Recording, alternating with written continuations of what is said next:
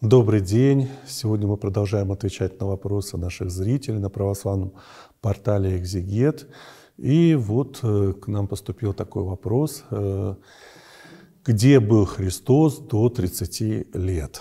Ну, с чем этот вопрос может быть связан, мы можем только предположить. Ну, и на эти наши предположения и ответим.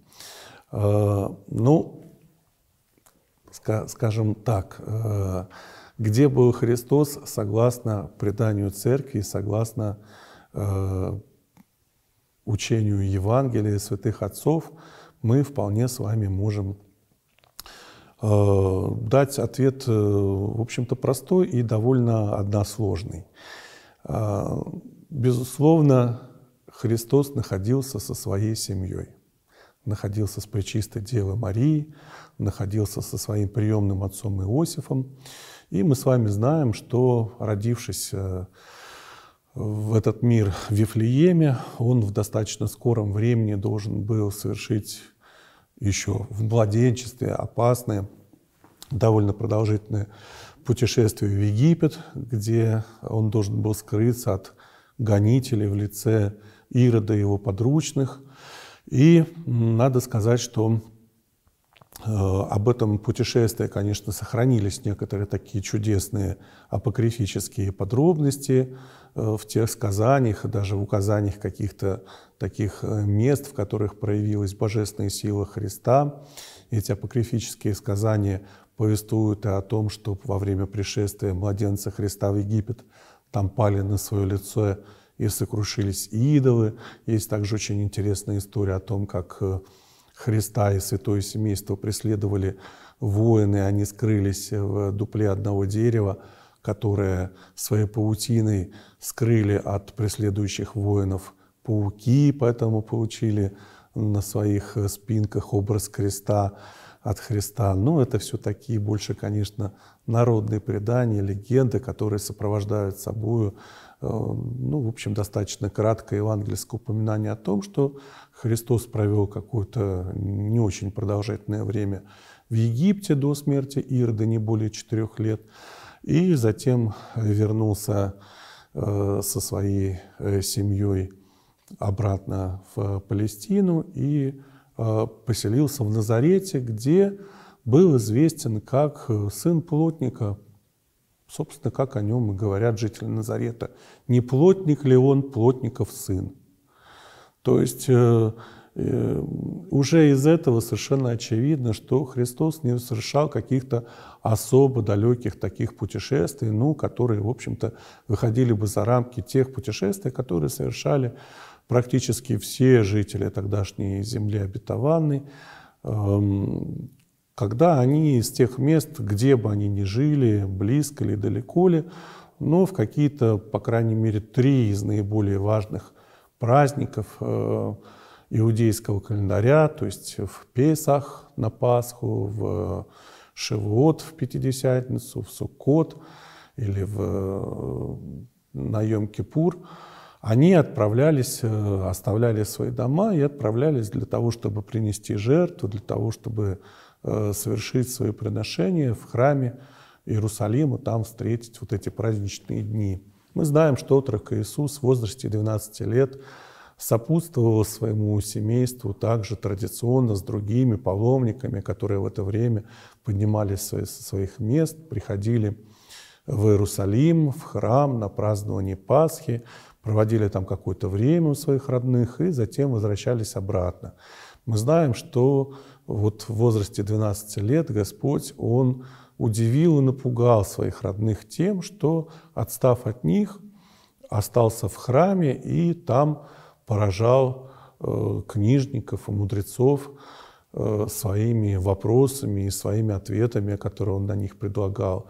И вот это было одно из тех чудесных событий, тех особенных проявлений того божественного разума и божественного достоинства, которые до времени были сокрыты под человеческим образом Иисуса Христа, но которые вот в, в какие-то такие редкие моменты приоткрывали себя и которые Престая Богородица, как сказано в Евангелии, слагала в сердце своем. Хотя и испытала много волнений, переживаний, разыскивая со слезами свое любимое чадо, расспрашивая спутников и сродников, не с ними ли э, идет отрок Иисус, и таким образом в течение трех дней, э, пребывая в его поисках и, наконец, найдя в храме, где он поражал своей мудростью книжников и учителей народа. Но, э, в общем-то, из вот этого такого достаточно будничного, рутинного восприятия Христа его э, назаретскими э, современниками и, можно сказать, соседями, совершенно очевидно, что нигде, вот кроме таких ежегодных путешествий, паломничеств по святым местам, Господь в своей жизни не бывал. Если бы он отправился в какие-то далекие края, как ему там иногда предписывают, или связался с, как, с какими-нибудь странными э, компаниями или э, учениями, это, безусловно, стало бы известно его соседям. Ну, город Назарет, можем себе представить, что это был за городочек, о котором говорили, из Назарета может ли быть что-нибудь доброе пыльный галилейский тесный городочек, в котором, так сказать, все друг у друга живут на виду, все прекрасно знают, кто что. И если уж это плотник и сын плотника, то все прекрасно об этом осведомлены. И надо сказать, что Назарет, он сохранял э, веками свою память о Христе, и вообще говоря, в Назарете сложилось такое особенное совершенно иудео-христианское население – со временем.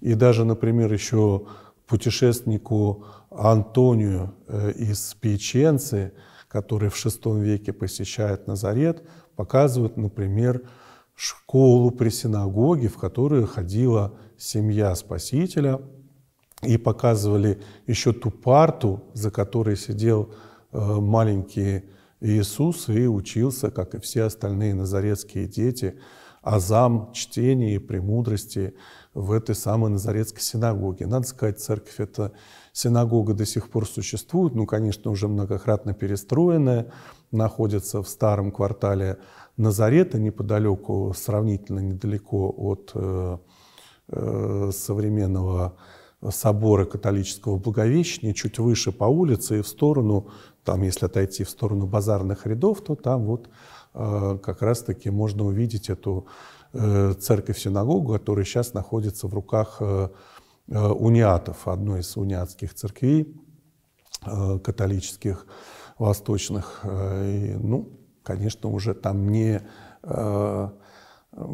парты, не грифельные доски уже давно не показывают, но, тем не менее, вот эта память о пребывании, постоянном пребывании в Назарете, плотника его сына Иисуса, она там сохранялась, что, собственно, и воспрепятствовало в какой-то момент распространению проповеди Спасителя в его родном городе Назарете и вызвало, так сказать, известное изречение о том, что нет пророка без чести только в Отечестве своем.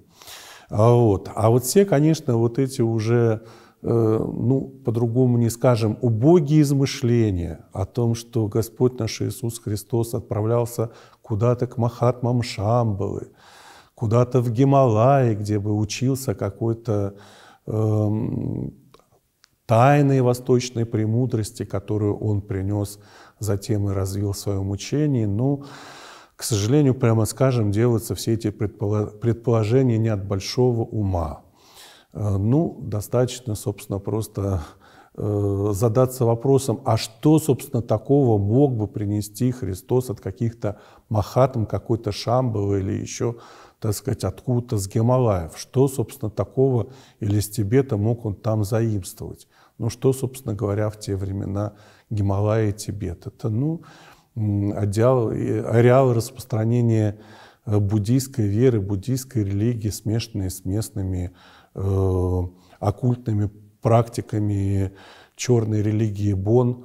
И, в общем-то, ничего, кроме какого-то незамысловатого оккультизма или абсолютно не имеющей никаких точек соприкосновения и пересечения с ни с христианским, ни с иудейским религиозным сознанием э, все эти традиции ну, никоим образом не имели. Уж не говоря о мифических махатмах, которые были придуманы э, Рерихом, Блаватской и, и прочей этой компанией международных проходимцев, которые, в общем-то, э, так сказать, и, и Ленину, по словам э, Рериха присылали там свое благословение на Великую революцию. Ну, в общем, что называется, не путайте Божий дар с яичницей. А другими словами тут, наверное, и не скажешь. Ну, уж не говоря о том, что, безусловно, такое путешествие не осталось бы незамеченным, да. То есть э, о Христе, если бы он где-то до 30 лет путешествовал, совершал какие-нибудь такие вот э, вояжи, Э, о нем бы, конечно, ну, во-первых, ему некуда было бы возвращаться, его бы просто уже не приняло бы то общество, в котором он вырос, никоим образом.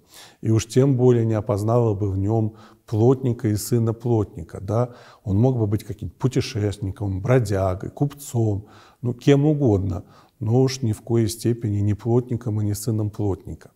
Всем и каждому в Назарете известным. Вот. То же самое относится и к якобы пребыванию Христа в среде секты Есеев. Да, действительно, во время жизни Христа такая секта э, получила достаточно широкое распространение, но, опять же, надо сказать, что по своему духу, характеру, по своему направлению эта секта Есеев мало общего имела вообще с христианством как таковым.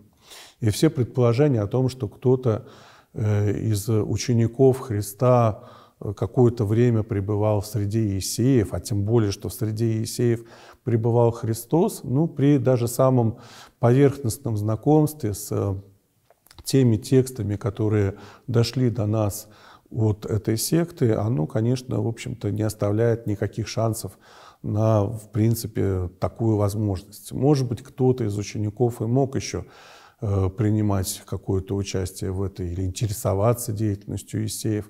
Но надо сказать, что вообще Есеи не стремились к какому-то такому принятию большого числа новых членов, к тому, чтобы разрастаться в своем числе. Э, ничего подобного. Есеи были достаточно замкнутые организации избранных, и уже в этом проявляется совершенно противоположный дух, который которым э, водились члены сектов, э, секты Есеев в сравнении с христианством. Э, мысль о том, что можно отправить 12 апостолов проповедовать что-то близкое на учение Есеев, ну, она для Есеев абсолютно абсурдна и немыслима. Есеи — это общество людей, которые смотрят на себя с чувством чрезвычайного превосходства. Это такие гностики иудейские того времени. Это люди, которые обладают тайным знанием в противоположность всем остальным э, иудеям, которые продолжают приносить свои жертвы в виде там, овец, волов или голубей в ветхозаветном храме, что Иисеи считали просто, так сказать, э, какой-то такой плотской и земной подменой духовного смысла изначального учения, весьма превозносились над всем прочим, так сказать, этим населением, и э, чувствовали себя узким обществом избранных. В то же время они вполне разделяли вот такой э, радикальный э, э, иудаизм, то есть это чувство превосходства себя над иудеями они вполне распространяли и на превосходство иудеев над всеми прочими остальными народами. И проповедь среди них э, христианства была столь же невозможным для Есеев э, делом, э, как и проповедь среди иудеев. То есть это совершенно противоречит самому духу замкнутого и превозносящегося своим тайным знанием вот этого есейского сообщества. Мы видим, что Христос совершенно другой. Он с народом, он в толпе, он в гуще людей. Он э, передает им свое учение, но оно также далеко отстоит от учения Есеев, как небо от земли. И в конечном счете мы знаем, что вот эти общины Есеев принимают участие в э, общем таком возмущении иудейского населения, которое стало выражением да, вот такого иудейского противостояния со всеми остальными гаим, язычниками, и в частности с римскими оккупантами. И последние из этой секты нашли свой конец среди защитников Масады э, в 1972-1973 годах, где, собственно, и обнаружены также некоторые э, также документы, относившиеся к вот этим последним общинам э, Есеев. То есть Есеи вполне разделяли вот это общее иудейское превозношение над прочими народами и прочими людьми, точно так же, как они превозносились и над иудеями как таковыми. В то время, как мы знаем, христиане не принимают никакого участия в этих иудейских мятежах, но скрываются, э, согласно пророчеству, в городе Пела, одном из сирийских городов Десятиградия, не принимая никакого участия в этой развязанной иудеями войне против Рима. Что, в общем-то, является одним из таких моментов, которые ну, окончательно еще более резко отделяют общество христиан от всех прочих иудейских сект, направлений и вот формирующегося вот этого нео иудаизма, который мы сейчас знаем под именем иудейской религии. А, поэтому, конечно, а, повторимся еще раз, до 30 лет Христос проводил внешне ничем не выделяющуюся жизнь.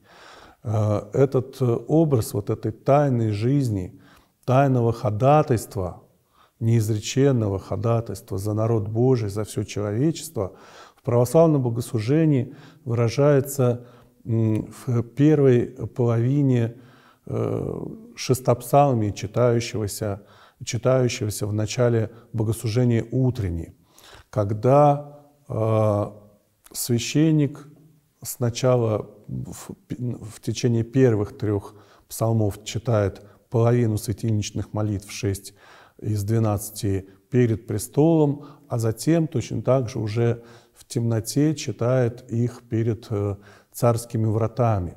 Вот это образ э, жизни Христа до 30-летия, до своего явления народу. И вот затем уже зажигается свет, раздается торжественное пение «Бог, Господь, явися нам, благословен гряды во имя Господне». Это уже литургически передаваемый образ явления Христа в этот мир как учителя, как спасителя, и как свет этому миру.